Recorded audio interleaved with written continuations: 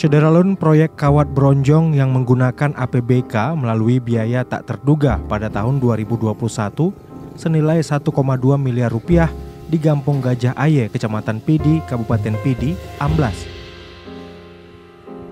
Kawat bronjong tersebut dipasang sebagai penahan dinding kerung baru agar tidak terjadi erosi. Aliran kerung baru berhilir ke Kecamatan Kota Sigli belasan meter bronjong itu turun sedalam satu meter lebih.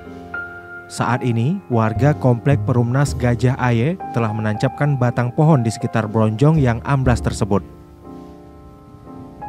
Warga khawatir jika tidak segera diperbaiki akan berdampak saat terjadi banjir yang mengancam rumah mereka.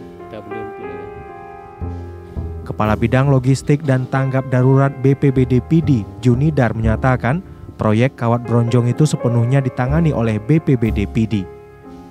Namun sekarang kondisinya menjadi turun imbas bencana banjir. Sementara masa pemeliharaan proyek tersebut telah habis waktu. Dari PD, Muhammad Nazar, Serambi On TV.